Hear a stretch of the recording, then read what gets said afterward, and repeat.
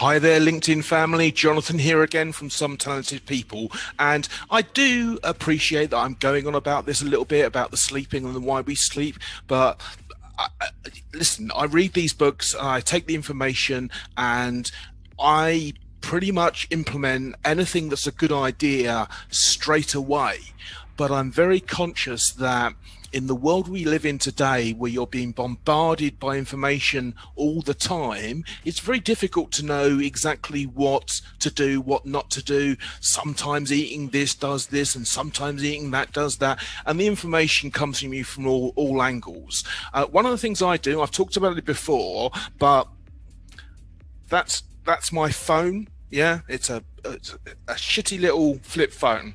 And the reason I have that is because I don't want to be chased around the world by bleeps and chirps and all the rest of the crap that comes through smartphones and social media. So, what I'm going to tell you now is unbelievably important. So, listen, there are um, Uh, it seems basically if you're a 16 or 17 year old, you'll get pregnant whether you want to or not. But for many people, both men and women, we're leaving our decision to have children until we're later in life because we believe that we need to have stability and financial security before we actually have children, which I suppose is a good idea. But there's a really serious problem because we're not sleeping. So let me just read this. Okay, so, adults that sleep six hours or less a night, as it's all the examples in this book, um, have uh, a drop in testosterone levels. And the effect of the hormone blunting is such that it ages a man by 10 to 15 years in terms of testosterone. And if you're sleeping less than six hours a night, you have a 29% lower sperm count. For women, so we we've heard of folic acid, and and um, it's something which you take when you get pregnant. But there is a, um, a folic or follicular releasing hormone in women, um, which is critical to reproduction. It, it, occurs just prior to ovulation. And they studied uh, over the past 40 years 100,000 employed women who work irregular hours. And the effect on their um, ability to reproduce and to actually get pregnant, they're 80% more likely to suffer issues of subfertility. Now, the bottom line is this in the UK, um, uh, what's it called? You know, test tube babies, um, fertility treatments.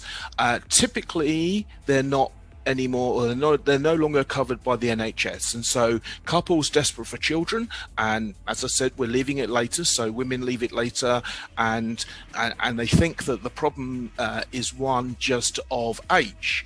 But the reality is this we are not sleeping properly and it is costing you who want to have children the opportunity to do so and it is literally costing you. So I, I've got a friend whose sister, she uh, married late and uh, started trying to have a child at 45, and they went through four rounds of fertility treatment. Forty thousand pounds. Forty thousand pounds. When sleeping regularly would stop the need for that. So honestly, you know, come on, sort your lives out. This is so the, these effects are so great that it's it, it, it's unbelievable to me. Um, and listen, if I hadn't bought this book, so much uh, about ways to improve performance would have would have remained eluded to me or would have eluded me. And um, this this one book uh, combines with 19 other things I know about how to get top performance. And seriously, uh, if you read my profile, it says at the bottom, obscenely expensive. You know why? Because I'm going to make you do what you need to do to become successful and happy and healthy. You, it, hey, we know all sorts of things about what we should and shouldn't do. I hope these videos are somewhat enlightening, but the fact of the matter is that habits are entrenched They are validated by the society we live in. I, I, did a post a while ago about how oh it's so macho we work through the night. I only manage on four hours sleep. The whole the whole message is frankly fucked. Um, and um, if you want to have children, if you want to reproduce, you you need to get more sleep because both the male and the female spectrum suffers so dramatically from broken sleep that it is a fallacy that we still continue down this path. Anyway, have a nice day. Please go to bed tonight. Go to bed early. Put your phone down, and uh, uh, if you don't want a child, uh, make sure you wear protection. All right, take care. I'll see you again. Thanks a lot.